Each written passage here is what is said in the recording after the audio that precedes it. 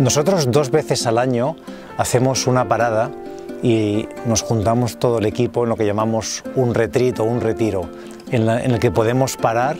pensar qué objetivos queremos conseguir a nivel profesional, a nivel personal y tener una oportunidad para conocernos mejor como equipo. Son dos días en que buscamos actividades que nos motiven, que nos gusten y que nos permitan sobre todo conocernos mejor cada uno de nosotros.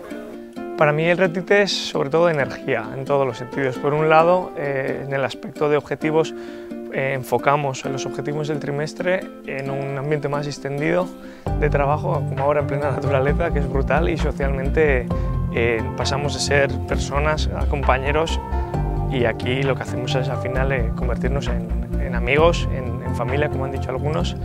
y realmente esto no, no tiene comparación. Para mí, un, un retiro dentro de la filosofía de la empresa es una manera de, compartir eh, momentos que, son diferentes a los del día a día en el trabajo y además una manera de, unir el equipo y sobre todo definir objetivos de cara, de cara al futuro de la compañía. ¿Y esto cómo lo puedes aplicar a tu empresa? Porque puede ser difícil el minuto uno hacer un retiro de tres días y pasar tanto tiempo fuera de la oficina.